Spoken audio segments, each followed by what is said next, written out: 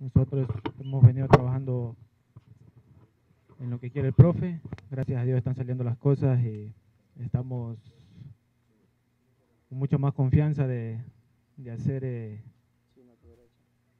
movimientos específicos para, para que sirvan para todo el grupo. Creo que se está manejando mucho lo, lo grupal y creo que gracias a Dios eso está dando resultados. Olger, eh, buen día. Para muchos sí, para otros no. Para el jugador del club Sport Emelec, ¿cómo lo toma? ¿El hecho de ser puntero eh, significa que sigue siendo candidato? ¿No dejó de serlo el Emelec? Bueno, creo que nosotros eh, ahora hemos cogido la punta, creo que falta mucho, eh, pero tenemos que afianzarnos a eso. Vamos a ir paso a paso. Estamos con la tranquilidad de, poder eh, seguir haciendo las cosas bien. Creo que hemos venido en alza futbolística. Cada uno de mis compañeros están haciendo muy bien las cosas. Creo que hicieron un gran partido eh, ante Barcelona. Ahora eso ya hay que dejarlo atrás y hay que pensar en lo que se viene. ¿Qué tal? ¿Cómo le va? Olger, ¿qué tal? ¿Cómo está? Este, ya se va acercando, ¿no? La parte mitad de la segunda etapa, después vendrá la fecha espejo, pero antes de eso tienen un rival como el Nacional, bajo su experiencia, bajo los años que ya tiene acá en el club, ¿cómo asimilar este tema de los partidos ya cuando se acerca la, fase más decisiva del año, cerrar eh, este 2018 y obviamente su objetivo es llegar a la final? Bueno, creo que Sabemos que Nacional es un rival muy difícil, que para eso hay que trabajarlo. Nosotros estamos trabajando en la semana para dejar los puntos en casa y seguir eh, afirmándonos en, el primer lugar. Sabemos que no va a ser fácil, pero para eso se trabaja, esperando de que sigan saliendo las cosas y poder eh, seguir sumando puntos de tres. ¿Qué tal, Olger? ¿Cómo está? Bueno, ¿cómo aprovecha la alternabilidad que ha tenido pues el equipo, eh, chance en su momento y también la labor individual cuando ha estado dentro del terreno de juego?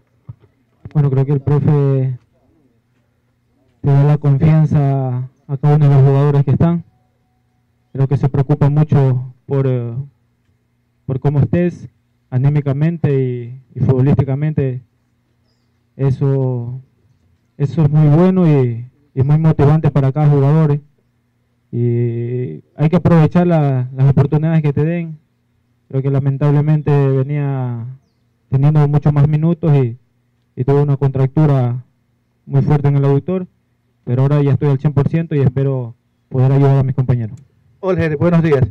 El nivel del día domingo fue bueno, pero ¿qué cree que falta todavía por sumar aún más en cuanto a las ideas y los conceptos futbolísticos del de MLE?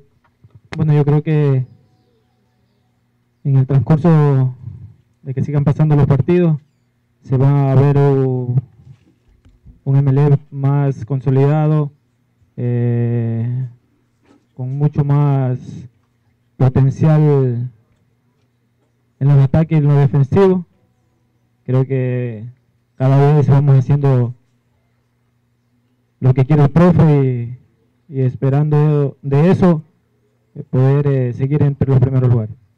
Hola, buenos días acá el entorno de quienes hacen la función de creación es muy importante. En su caso, López, Luna, eh, hoy no está apreciado, está Rojas. ¿Cuánto cree que ayuda, cuánto ha evolucionado eh, Rojas a asumir una función que era tan determinante para Emelec y ha venido poco a poco elevando su nivel? ¿Cuánto importante es para el hombre que filtra pase en profundidad tener hombres hábiles como Rojas?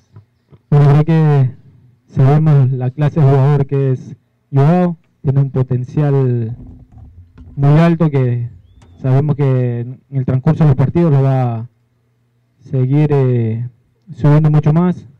Para nosotros tenemos esa facilidad de, que tienen muchos movimientos muy buenos y que nosotros como creadores de, de, esos espacios te da la facilidad para poder eh, meter eh, muchos pases como también Brian sabemos que está en un gran nivel. Arroyo, bueno, la mayoría de los jugadores están en, una alza futbolística, que eso es muy importante para el grupal.